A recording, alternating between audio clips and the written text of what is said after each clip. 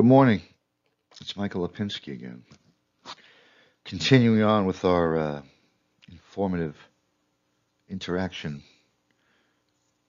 I want to continue uh, discussing the building information modeling endeavor that uh, either I or we or you and I are discussing privately. In any event, moving on to the next series of chapters, we're going to be exploring the user interface uh, today. Lickety split. Um, haste makes waste. So let's uh, let's get started exploring the user interface and organizing projects. After more than a decade in the architectural engineering and construction AEC industry, Autodesk Revit software continues to be unique in its combination of powerful features and ease of use. Revit may not be the absolute best tool to design and document every imaginable building type, but its features and function makes the make the vast majority of production tasks much more efficient and accurate. Revit is a completely bidirectional multi-user working environment. Unlike other 2D computer-aided drafting, CAD, or 3D building information modeling, BIM tools, instead of talking about layers and vectors, we'll be using terms such as projects, components, and parameters along with tools such as such as a wall, doors, and floors.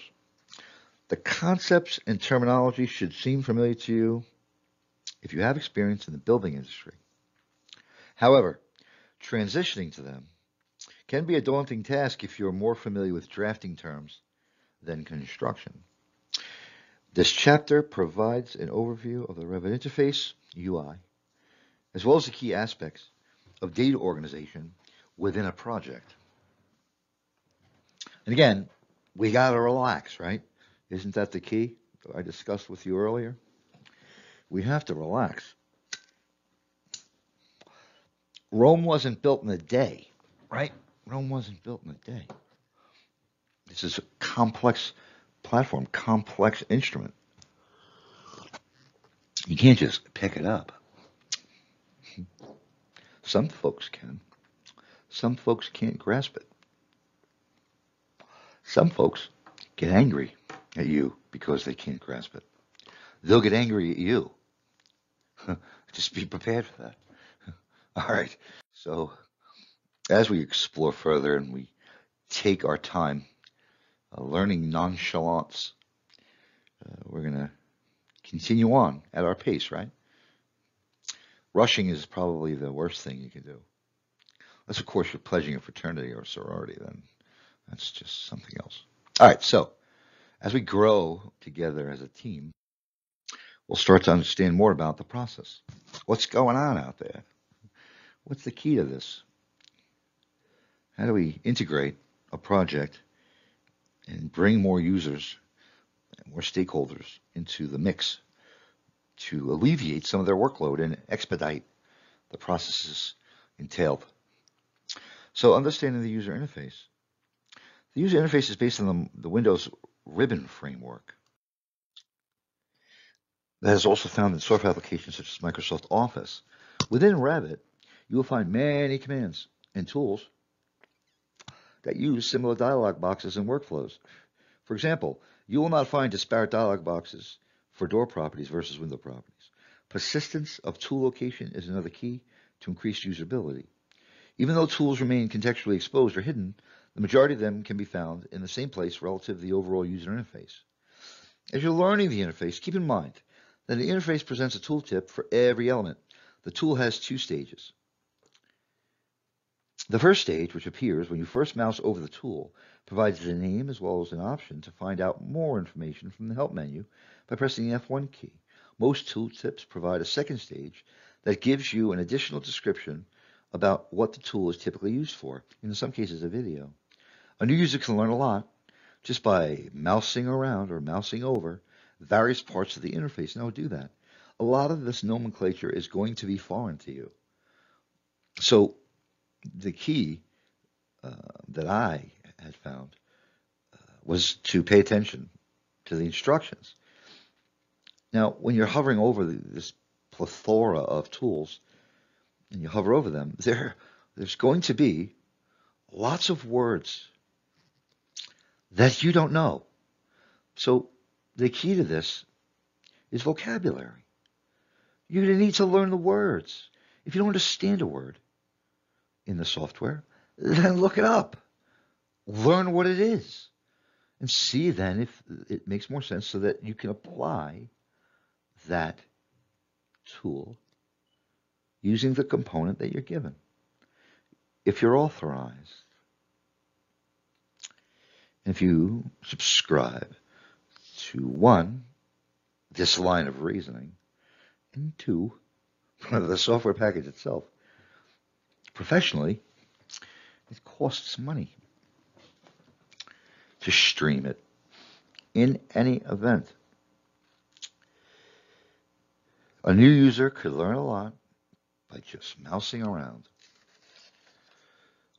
Now, you have the ability to access all three disciplines of the Revit software suite, architecture, structural, and MEP. This functionality is addressed in getting to know the ribbon. You know, the ribbon they cut, you know, those politicians. First shovel in the ground, all that. When you learn the ribbon. All right. So you win a you win a ribbon, you know. Bake sales. Lots of ribbons. There are lots of ribbons to learn. You gotta remember something. We're existing within a society. It's a civilized society. So there's there's more to this than just iterative forms and manipulative models.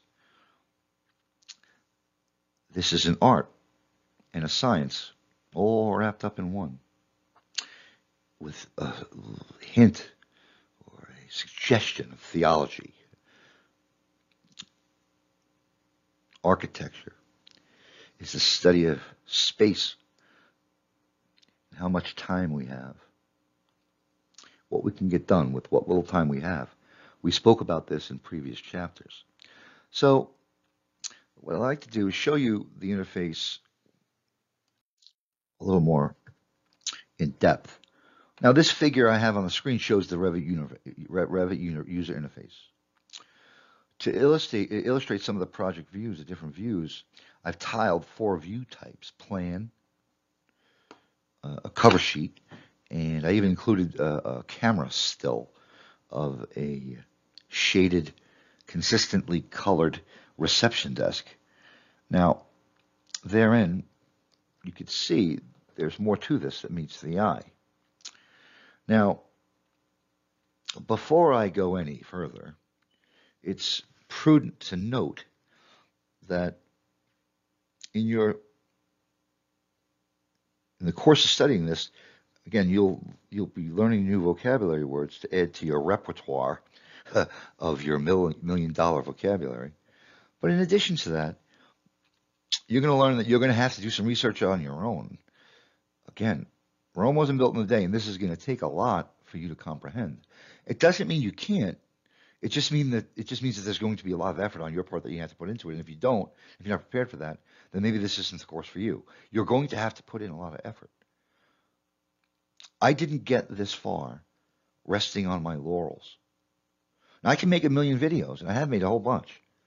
And you could hope that you can find them and hope that it fits into the, your particular location on this course and where you are at in your your your learning of this, uh, your what you're capable of doing right now. So I want to jump ahead. I I want to keep it simple, stupid. I want to. There's a trick to this. I think after doing it for so long, after performing a lot of the instruction, seeing the the, the audience and my my target audiences, I've noticed a few things along my way that you may not pick up, you know, in the office. Um, you have to see from both sides of the what's the word I'm looking for? You have to see it from both sides. You have to see it from 54th floor of Penn Plaza, corner office, down to picking things out of a garbage can. You know, it's a rich man, poor man scenario. Get with the program or get left behind. So before I go any further, I wanted to just stop there and let you digest a little bit of this because there's a lot. There's a lot, especially if you're new. And who knows where you fit in? Are you a MEP designer, MEP engineer? Are you an owner? Are you a student? Are you an electrician, carpenter, plumber, uh, a mechanical contractor? Are you a mechanical engineer? Are you an artist? Are you a Photoshop uh, graphical artist? There's so many players that fit into the going. Uh, fit into this. Are you a real estate agent? Are you a leasing agent? Uh, are you uh, are you this, are you city hall? Are you are you performing inspections? Are you uh, coordinating projects on your own through uh, secondary governmental agencies? So much to this. So many players. How can you even think that you can uh, uh, organize it? Well, let me give you a little tip. The Egyptians did it, and they didn't have Revit. You know, Easter Island has statues on it. Do you think they use Revit for that? It's an inclined plane. It's lots of things.